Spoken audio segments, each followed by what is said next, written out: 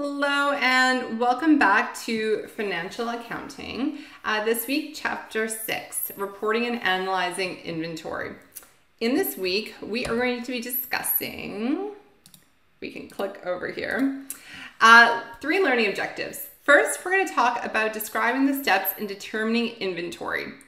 Then, we're going to look at the effects of inventory errors. So, one more qualitative than the next, starting to be more identifying. And then the third learning objective we're going to look at, which is learning objective number six, is applying the FIFO and average cost formulas. So that's two different types of calculation for inventory flow.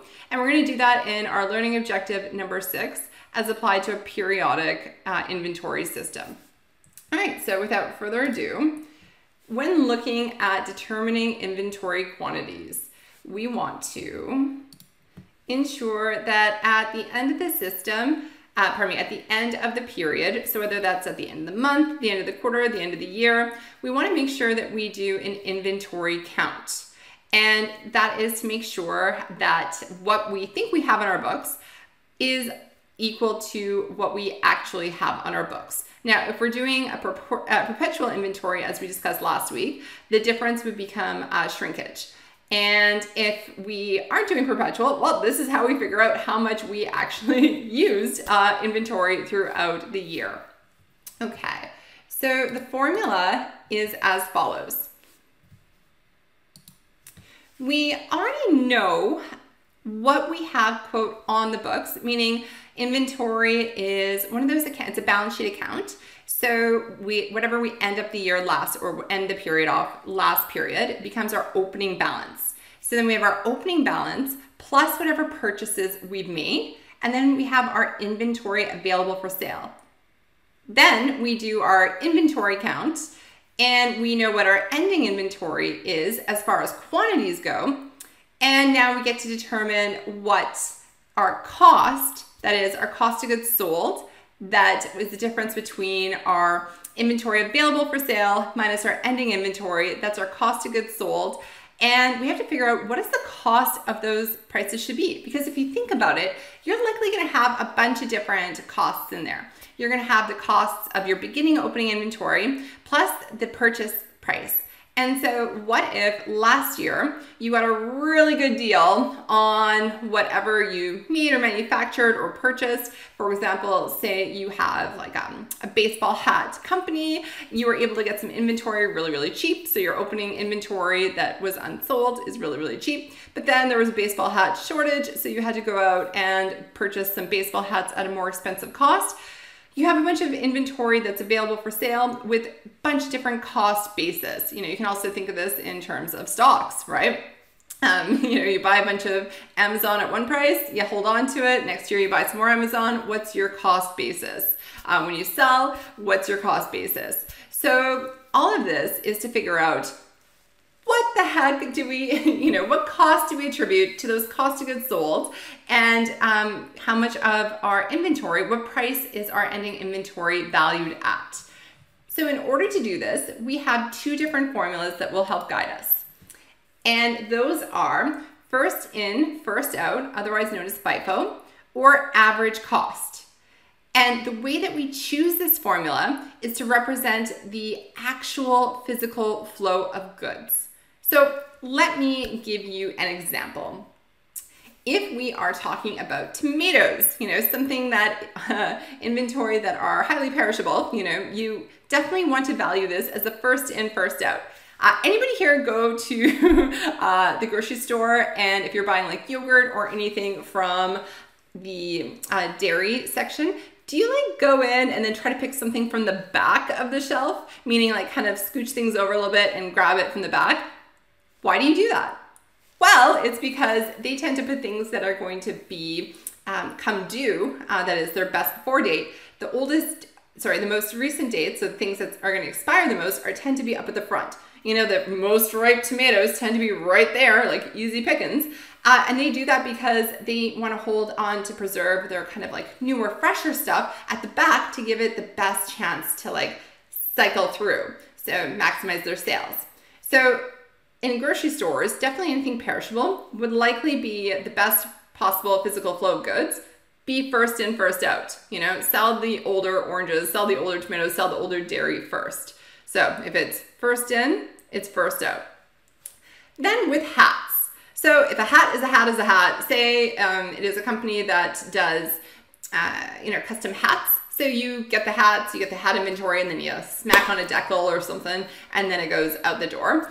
So if you buy a whole bunch of inventory at a really good price, and then um, other inventory at not such a good price, you know, are you really gonna sell your old hat inventory first if it's all seemingly identical? Probably not. You're like, you're not going out and selecting like the cheaper ones because like, can you even tell which ones they are? Probably not. In that case, it's likely most accurate to use average cost. That is, a hat is a hat is a hat, put them all in a bucket and pull out a hat and the average price is the average price. Okay, so let's look at this in a bit more details. When we look at merchandising inventory, that is our inventory that we purchase uh, to resell. We want to keep an order of operations. Here, I'll pull up Excel a little bit. And say we purchase, let's see, this is our inventory account. Let's do a T account because aren't those kind of fun? Um, uh, all right. Um, I think they're fun. Okay, so this is our inventory account. At the beginning of the year, we have, sure, $500 worth of inventory, um, and they're actually representing um, 100 units at $5 per unit. Okay, and that equals our that equals our beginning inventory of 500. And then throughout the year, we have some purchases. So uh, we're gonna, how many do we purchase? Sure, 50 units at, we're gonna say they're more expensive, right? 60, $6. Okay, so then we have six equals, and then this is gonna be our purchase of our 300.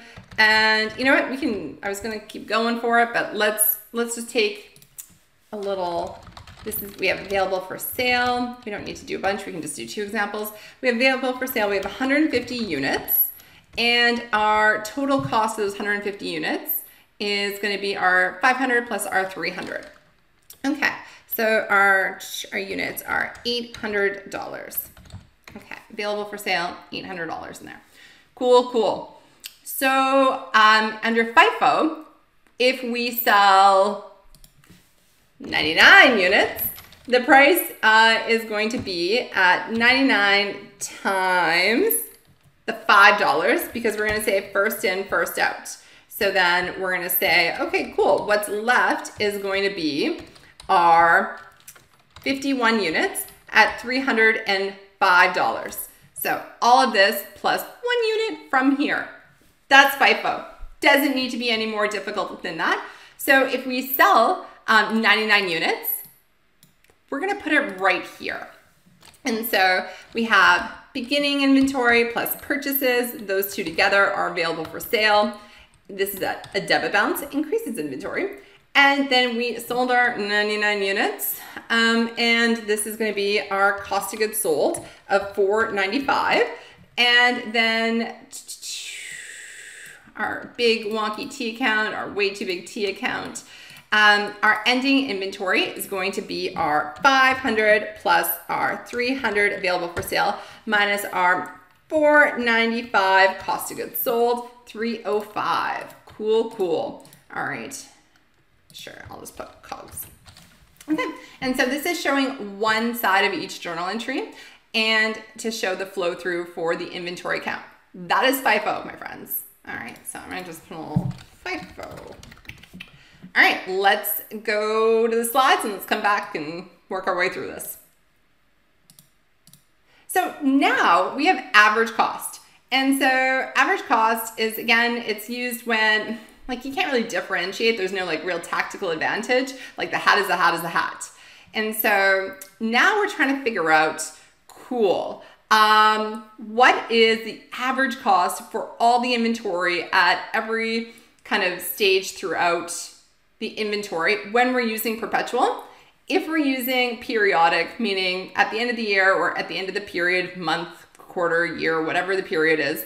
We just add up all of our purchases, all of our purchases. Imagine instead of 50 units, um, it was five were purchased at six, 10 were purchased at three, blah, blah, blah, blah, blah. We add them all up and we include our average cost of our um, beginning, add them all up, divide them by the number of units, that gives our average cost.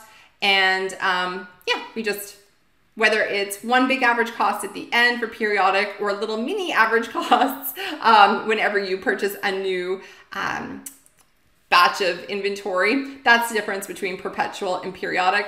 Otherwise, uh, the math still maths. So let's look at the math for um, our average cost. Okay, so this is our math for our FIFO. Let's be a little lazy and see what the difference is. You say lazy, I say efficient. Okay, we know that that number is not going to be that number, but we know that this number is because our purchases are still our purchases, our opening inventory is still our opening inventory. It's this math that's going to change. Okay, so we're going to call this average cost because it's average cost. Okay, so that's not going to be ending inventory anymore. I'll put a little E there, just Samantha, why is your E there, not here? Oh, because there's numbers in there. Okay, let this go over. Okay, so we have our math here is going to be, we have our purchases, we have our 150 units, and we have our $800. That's what our price is, 800, 150 units. So then our average cost you're gonna be like, is this university math? No, this is university accounting math. All right. Oh, accounting has so much math. Sure. Okay. Uh, this equals our $800 uh, divided by 150 units. 150 units equals $5.33.33 per unit. Cool. All right, so same thing. Uh, we sold 99 units. So 99 times by, here we go, and we have $528 for our cost of goods sold. Cool. All right, same thing. We have 500 opening plus 300 purchasing less 528 cost of goods sold. And this gives us ending inventory of $272 under average cost. Cool. All right. So again, the policy choice is based off of what is your type of inventory, which flow of goods. You better sell the first stuff first. Is it tomatoes, perishables? Is there a reason for this? Or is it average cost? A hat is a hat is a hat. Alrighty, let us return to the slides. So at the end of all of this, after you've figured out what your ending inventory number is, then we have this kind of overall rule to check for impairment. And that is, does the number of your ending inventory, is that, I always, okay, I want to, such a, it's such a like a, a quote, like such a bankable, like buzzword quote. It's lower of cost or net realizable value. So your inventory balance at the end of the year must be at the lower of cost cost or net realizable value. And all net realizable value or NRV means is what can you sell it for? What can you sell it for? What can you sell it for? So, for example, if you have these hats and um, the total the total amount of you know somebody comes by, um, say you're I don't know you, you get this inventory valuation specialist to come out uh, and they say, hey, cool, your inventory is only worth $300. Well, if you're using average cost, you're, you would have an impairment. Or me, sorry. Ah. Um, if you were using FIFO, you would have an impairment because it needs to be at the lower of cost or net realizable value. Well, if it's worth 300 and this is 305, you have to impair this by $5. And if you're using average cost, then you don't have an impairment because inventory has to be at the lower of cost or net realizable value. And cost 272 is going to be lower than net realizable value of 300. So other ways that you can check for this is because accounting, you know, we report on things that already happened.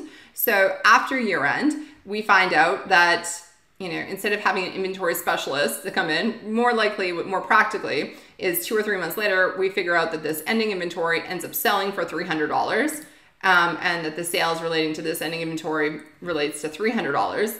And so then at the of when you do your true up entries, your top side entries, your adjusting entries for the year end, um, then that's when you would have to make this adjustment. And or if you miss it, your auditors will likely catch this and say, listen, um, your inventory is overvalued at year end. You ended up only realizing $300 off of this. So you need to impair this down. Um, either way, this would be impaired down to 300. This we would do nothing because it's lower than cost of net realizable value. But Samantha, can't you write it up? No. The thing is, and I don't want to use the word conservative because that is not an IFRS term. However, the economic reality as at year end is that this will eventually turn into $300 worth of sales. And the standard says lower of cost or net realizable value. Cool, this is lower. This will eventually turn into $300. So lower cost or net realizable value. Well, that needs to be 300. So the economic reality is is that you have one that is more expensive than the other one that is, um, you know, appropriate given the standard. But Samantha, um, you know, why is that? It's just the same. It's just you know the same numbers but different way of accounting for it. Well, it's because in a sense maybe this FIFO didn't accurately capture the flow of goods. We thought it did, but maybe it didn't. Or maybe something happened after year end because essentially they expensed way more cost of goods sold and therefore had less costs in their ending inventory, whereas they didn't expense as many cost of goods sold um, and therefore will need a small impairment. So at the end of the day, your costs in are going to equal your costs out.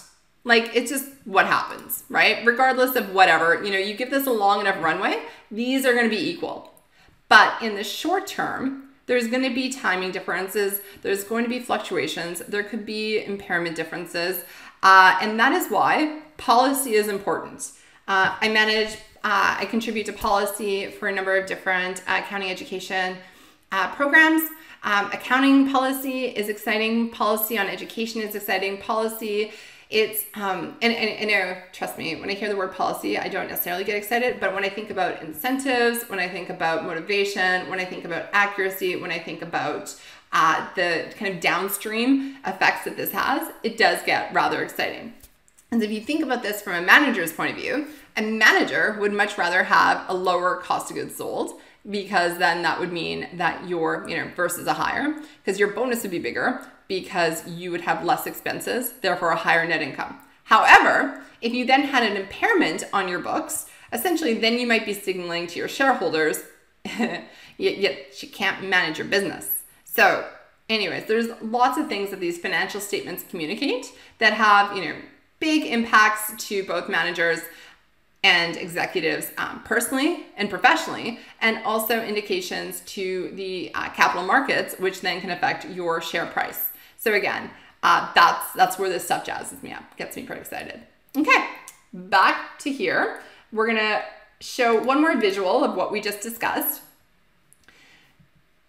So if we do happen to do um, a write down because there was impairment to lower of cost or net realizable value, if, and so we reduce um, pardon me, when we do the impairment, we do it the same as through cost of goods sold, right? So if we're just, we follow this up here, um, then our impairment would be $5. It would be called impairment, may, um, likely flow through cost of goods sold, may may not have to disclose that in the notes. And then our ending here would be 300. And then we would have nothing over here. And then if subsequently you know, uh, under the first method where the valuator came in and said, hey, your stuff's only worth 300. If we subsequently, um, the next valuator came in, say we didn't sell any hats for, I don't know, six months, and they came in and were like, whoa, it's actually worth like, whatever, 600, then we can um, write it back up. Uh, or we can reverse the um, we can reverse that write down, but we can't like write it up beyond like beyond what the reversal was. People like in practice this doesn't happen a lot because like you're churning through. Like your business isn't meant to hold inventory. Um, holding inventory actually costs you money. And so you know this typically doesn't happen too too much. However it is a possibility. It is available within our rules so it may or may not happen. All right time for a question. A company just starting business made inventory purchases in august at a time when prices were rising the inventory cost formula that would produce the higher gross profit for August is. Take a pause, read the answers, and let me know what you think in just a minute. Talk soon. All right. If you said not determinable, you are wrong. Oh, I'm sorry. I'm sorry. All right. Um, and if you said C, FIFO, you are right.